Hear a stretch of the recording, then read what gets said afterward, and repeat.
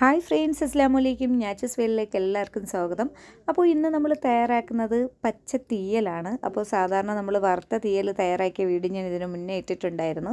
അപ്പോൾ ഒരുപാട് പേര് കണ്ടിട്ടുണ്ടായിരുന്നു. അപ്പോൾ ഇത് പച്ച തീയലാണ്. വളരെ പെട്ടെന്ന് ചെയ്യാൻ പറ്റിയ ഒരു റെസിപ്പിയാണ്. അപ്പോൾ അതിന് വേണ്ടി ഞാനിവിടെ കുറച്ച് സാധനങ്ങളാണ് എടുത്തു വെച്ചും. കുറച്ച് മുൻ പിന്നെ മുരിങ്ങയ്ക്ക എടുത്തിട്ടുണ്ട്. കുറച്ച് ചെറിയ ഉള്ളി ഒരു പകുതി സവാള കുറച്ച് പച്ചമാങ്ങ കൂടി എടുത്തിട്ടുണ്ട്. അപ്പോൾ ഇത് ഇത്രയും നമുക്ക് ആദ്യം ഒന്ന് വേഗം വയ്ക്കാം അപ്പോൾ ഒന്നുകിൽ സവാള അല്ലെങ്കിൽ ചെറിയ ഉള്ളി ഏതെങ്കിലും ഒന്ന് ചേർത്താലും മതിയാകും. ഉള്ളി മാത്രം വെച്ച് നമുക്ക് ഈ തീയൽ തയ്യാറാക്കാം.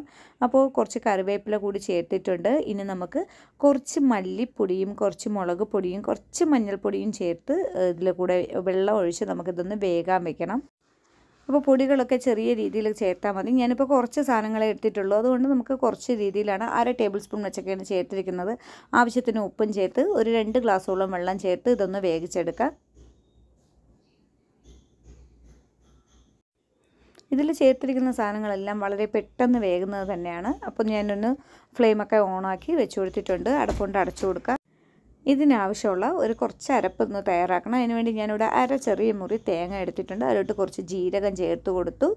അപ്പോൾ ഈ തേങ്ങ എടുക്കുമ്പോൾ നമ്മളിപ്പോൾ ഇത് ഞാൻ കുറച്ച് മരക്കറി ആയതുകൊണ്ടാണ് കുറച്ച് തേങ്ങ എടുത്തിരിക്കുന്നത്. കുറച്ച് കൂടുതൽ എടുക്കുകയാണെങ്കിൽ അതനുസരിച്ച് തേങ്ങ എടുക്കുക ആ ജീരകവും തേങ്ങയും കൂടെ നല്ലതുപോലെ മഷി പോലെ ഞാൻ എന്താ വെള്ളം ചേർത്ത് അരച്ചതാണ് ഇതിലോട്ട് ചേർത്തിരിക്കുന്നത്. അതിൽ വേറെ ഒന്നും ചേർക്കേണ്ട ആവശ്യമില്ല.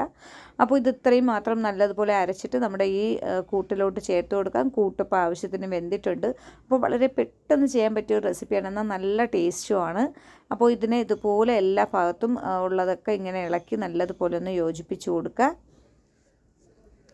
ഇനി നമുക്ക് ഇതിലോട്ട് ചേർത്ത് കൊടുക്കാനുള്ളത് ചെറിയ അളവിൽ പുളി ചേർത്ത് കൊടുക്കണം. അപ്പോൾ ഞാനിപ്പോൾ അരപ്പിലൊന്നും ചേർത്തിട്ടില്ല. കുറച്ചൊന്ന് പിഴിഞ്ഞ് അതിന്റെ ചാറാണ് ചേർത്ത് കൊടുക്കുന്നത്. അപ്പോൾ തേങ്ങ അരക്കുന്നതിൽ വേണമെങ്കിൽ ചേർത്ത് അരയ്ക്കാവുന്നതാണ്.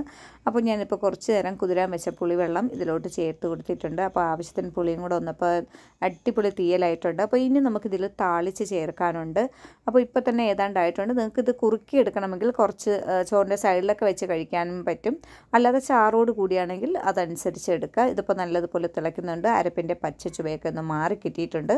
കുറച്ച് സമയം ചെറിയ ഫ്ലെയിമിൽ ഫ്ലെയിമിലിട്ടതിന് ശേഷം ഒന്ന് കടുക് താളിച്ച് ഇതിലോട്ട് ചേർത്ത് കൊടുക്കാം. വെളിച്ചെണ്ണയിൽ തന്നെ കടുക് താളിച്ചെടുക്കുക. പിന്നെ ഇതിൽ നമുക്ക് കുറച്ച് ചെറിയ ഉള്ളി ഒന്ന് നല്ലതുപോലെ മൊരിച്ചൊന്ന് ഇട്ട് കൊടുക്കണം. അപ്പോൾ അതിനൊരു പ്രത്യേക ടേസ്റ്റാണ്. സാധാരണ നമ്മൾ വറ്റൽമുളകും കടുകും കറിവേപ്പിലയും മാത്രം ചേർക്കാതെ കുറച്ച് ചെറിയ ഉള്ളി നല്ലതുപോലെ നല്ലതുപോലെ മൊരിച്ച് ചേർത്ത് കൊടുക്കുക. അപ്പോൾ ഞാനിതിപ്പോൾ മുരിയാൻ ഉള്ളി ഇട്ടിട്ടുണ്ട് കുറച്ച് കടുക് ഇട്ടിട്ടുണ്ട് വറ്റൽമുളക് ഇട്ടിട്ടുണ്ട്. ഇനി കുറച്ച് കറിവേപ്പില കൂടി ചേർത്ത് കൊടുക്കാം.